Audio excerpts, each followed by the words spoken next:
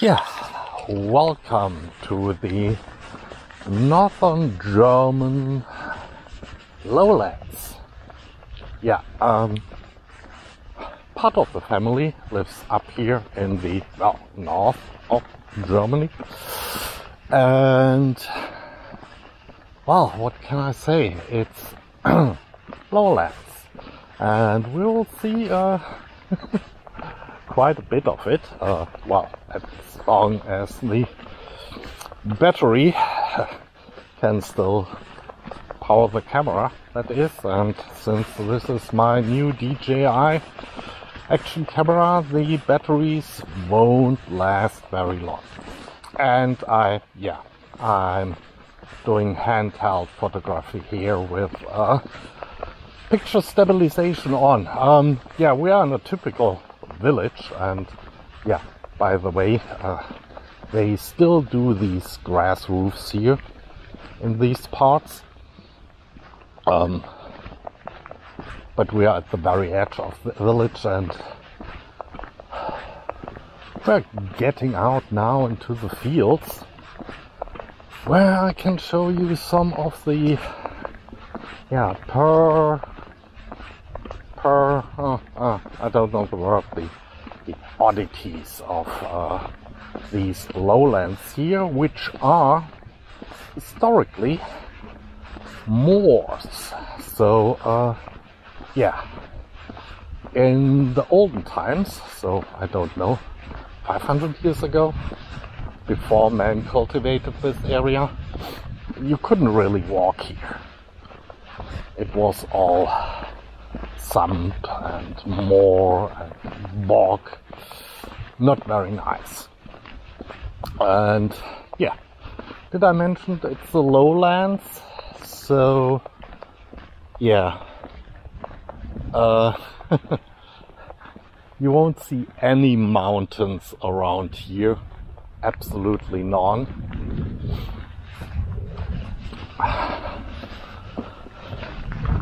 And also until, I don't know, 10 years ago, maybe a little more than 10 years ago, uh, most of the roads out here in the fields yeah, for the farmers, were actually dirt roads, like the one I'm walking on now. But as I said, uh, aboutish 10 years ago, they got some money and they paved most of these dirt roads. I mean, they are still not open for, uh, yeah, normal traffic. Uh, it's still just for farm vehicles uh, that's a theory, at least. uh, yeah. And we will meet up with such a paved uh, farm road or former dirt road in just a minute at uh, yeah the end of that dirt road.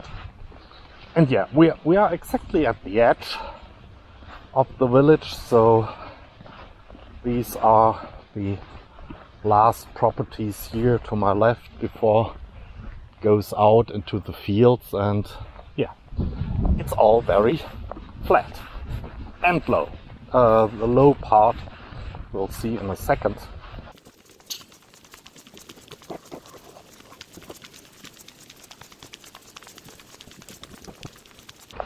Also, the ground is very sandy. You won't find any rocks until you dig down uh, really deep. That has its pros and cons, I guess. So uh, it's really easy for a normal one family home or two family home to dig out the foundations. Uh, yeah, because it's basically sand. Or, uh, yeah, to drill down holes for you know extracting heat from the ground with some uh, heat pumps and stuff that's also very popular in this area or to have your own well uh, but of course this is also a problem. I already mentioned uh, when we started this walk that this is or was all moor. And I think until, yeah, before and during World War II, they came out here and they basically cut out the moor material and dried it and used that for uh, for heating. They burned it. It's I mean it's a pre-stage to uh, to coal. If you let it leave it alone a few more million years and put some more stuff on it and compress it, at some point you will have coal. Uh, yeah, but since then it's more yeah lots of cornfields that time of year. It's more yeah agricultural area.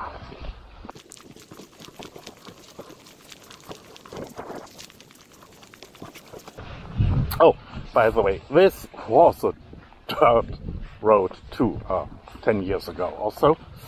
Uh, one of the many dirt roads that have been paved over, but are still, yeah, just intended for farm vehicles.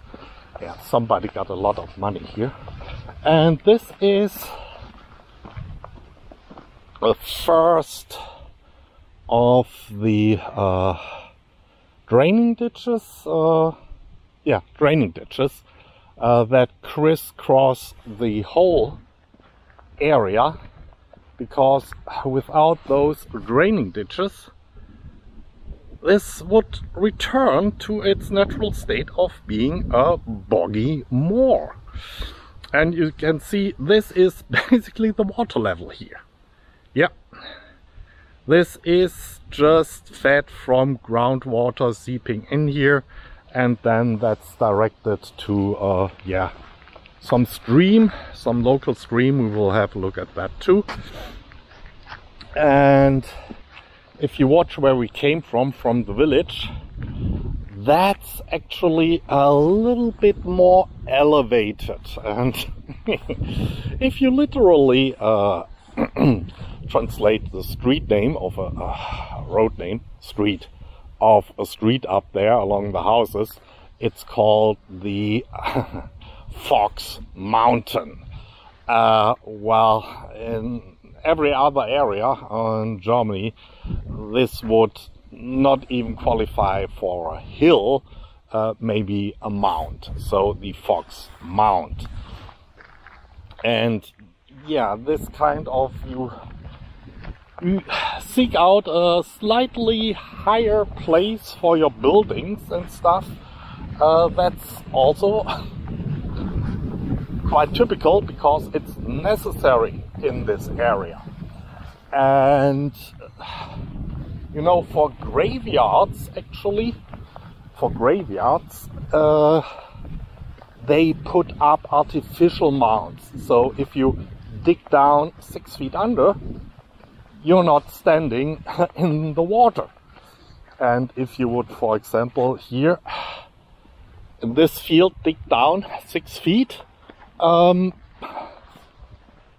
you're digging in water. You're standing in groundwater. And let me see. No, that's not. Uh, yeah, yeah, sure. That's a disused drainage drainage ditch right here and you see yeah the road is former dirt road is also a little bit further up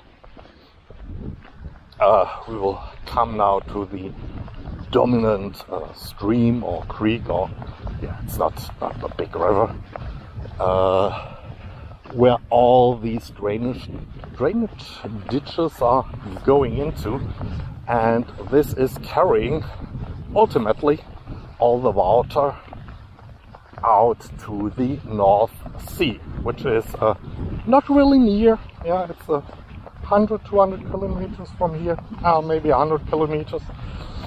Uh, yeah. This is also typical that you have uh, some trees or bushes along the roads just to keep the wind in check a little bit. Also, all fields are usually framed by a row of trees or something to keep the wind in check. Otherwise, if you don't have any crops on the fields, uh, yeah. Did I mention we are in basically lowlands? So there's absolutely nothing mountainous or so around here that could slow down the wind.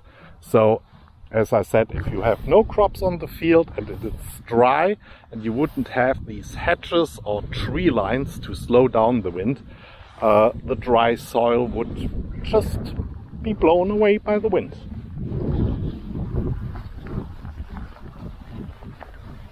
That's the problem with the lowlands. I mean, it's really easy to work that land because it's so flat, but it also has its drawbacks.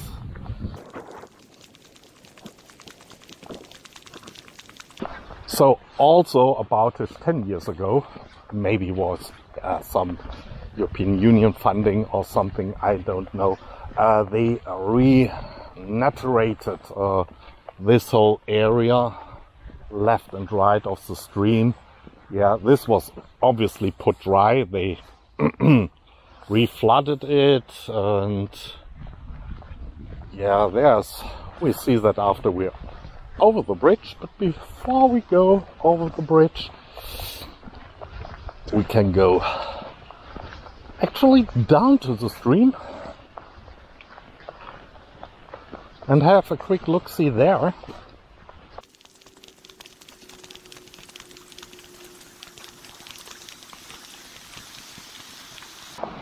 Yeah, I mentioned this goes ultimately over some larger rivers into the North Sea and all these drainage ditches in the area go into that stream. And it's brown because this is water from basically still the moor.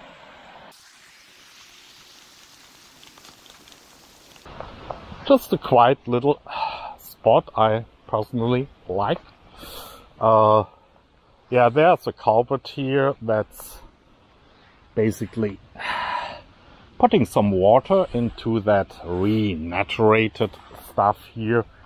Uh, 10 years ago, this was uh, basically just completely closed off here. You saw where they dug down a little bit. And this was like all the fields uh, dried out. So they dug it out a little bit, I think, and they made sure that water can flow in here. So, yeah, plants and wildlife.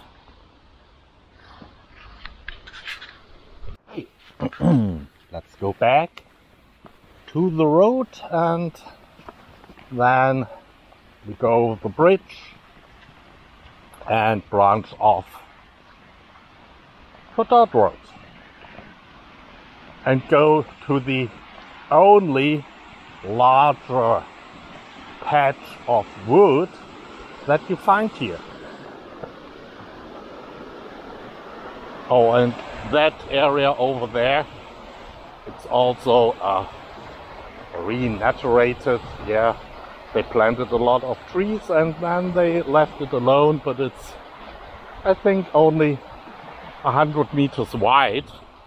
It's longer, but yeah, only very narrow.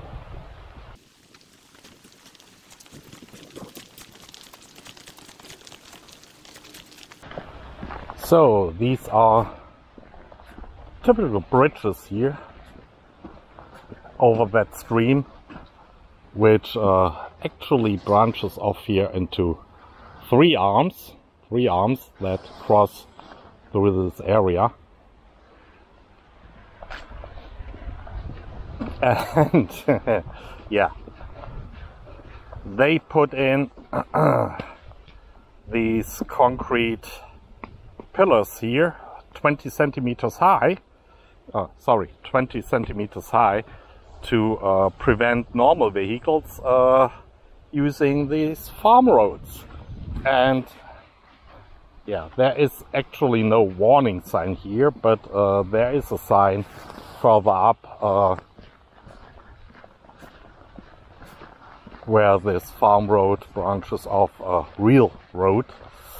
Uh, yeah, you have to know it. Besides, most people, or many people in this area, drive, of course, SUVs nowadays. Uh, not that you need them here because everything is flat and you seldomly have snow in the wintertime, but yeah, rural area SUVs. And yeah, uh, they easily pass over these concrete pillars. So yeah, the idea just to pave the farm roads so that, I don't know, people don't get dirty feet, dirty shoes and can drive their bicycles more easily. Uh, it didn't work out. People around here soon started using these paved farm roads for, well, not farming purposes. Yeah, we will walk a little bit there up to the left through the cornfields.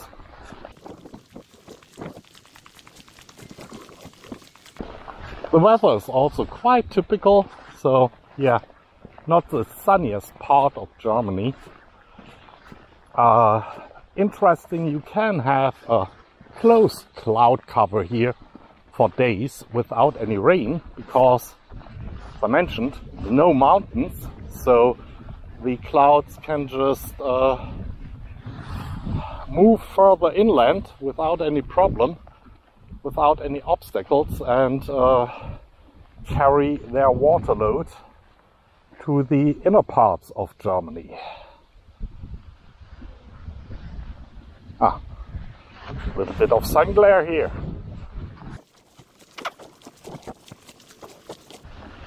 So yeah, very typical. Bit windy, clouds. Ah, don't get me wrong, there are sunny days, warm, hot days here, but uh, not as much as in southern Germany, where I live. Put the camera up a little bit higher. So, yeah, cornfields. and very sandy ground and yeah you might be able to recognize that a lot of horses in this area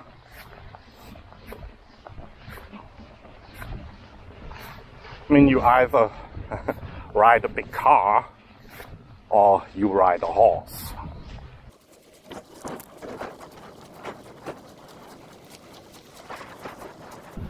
I know for Americans, these fields seem to be tiny, but believe me, for uh, Germany, they are quite large.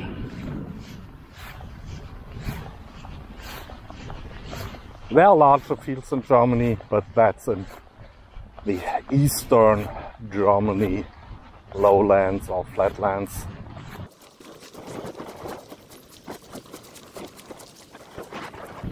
There's a saying here that, and it doesn't even lose in translation, uh, but there's a saying here that you can see on Saturday who comes visiting on Sunday.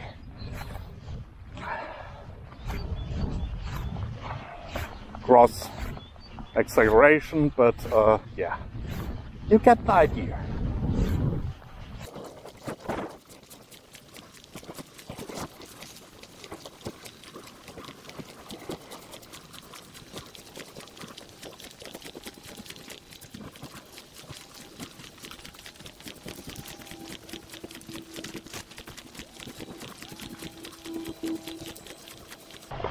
I don't know if you can hear that, but obviously somebody's working in the wood.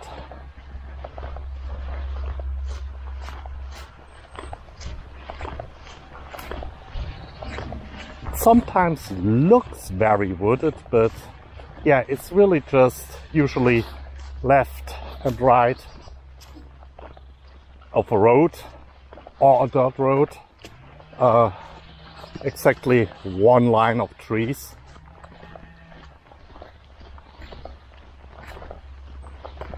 And by the way, yeah, there's also a disused drainage ditch here. It's no longer in operation, I think. But you can see I still have an idea where it once was.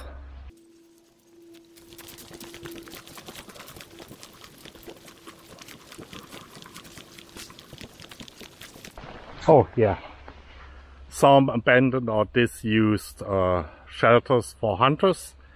They normally go up a tree or something like that. Or in this area, they sometimes are just flat on the ground because, yeah, it's flat here. And yes, people are hunting in this area. I think there are some wild boar. And uh, uh, you know uh, the other game Bambi's Bambi? And ducks of course. Lots of water around here so lots of ducks. As I mentioned this is the only real patch of wood around here. So within a, I don't know, five kilometer, 10 kilometer circle around the village. Not quite sure.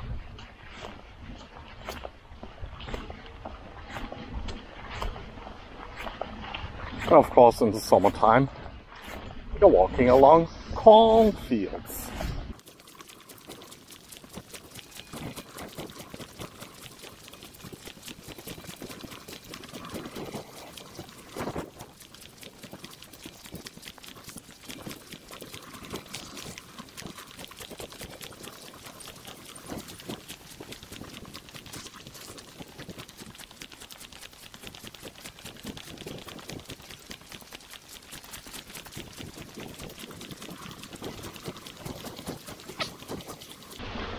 Okay, we're going into the wood now, a forest, and for reasons I'm not quite clear, there is a, well, a stone road here. I mean, these stones are old. Yeah, they're nicely weathered I'm not quite sure how old. I think this is post World War II. It was used for something, but obviously it's, as you will see later on, it's no longer really maintained. But it was a proper stone paved road through this wood.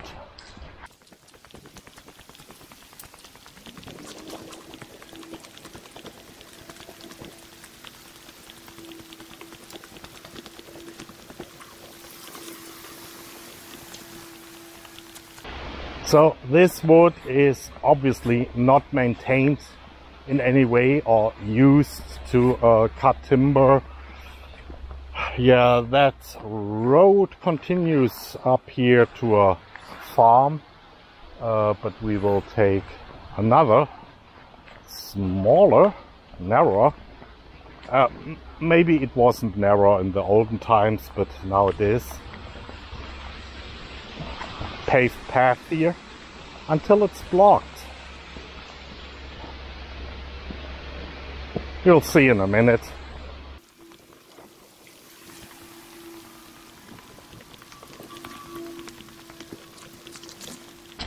Also interesting about these woods is that there's really not much undergrowth. Yeah, you, you can walk straight through without any problems. Uh, the only problem you get, uh, you notice again, we're on a slightly uh, elevated mound or so with that paved road here, stone paved road. uh, if you go down here, you might end up in a bog.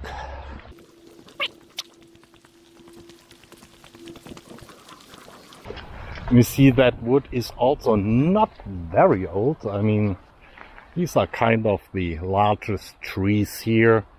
Uh, everything else is much smaller. Lots of birds. And yeah, there fell a tree over. And uh, yeah, but there's a detour around that tree nobody cared really to remove that tree and yeah just judging by how many how much foliage is left on that tree here and the state of decay of the wood uh, it's laying there for quite some time. Nobody cares to remove it. I mean why should they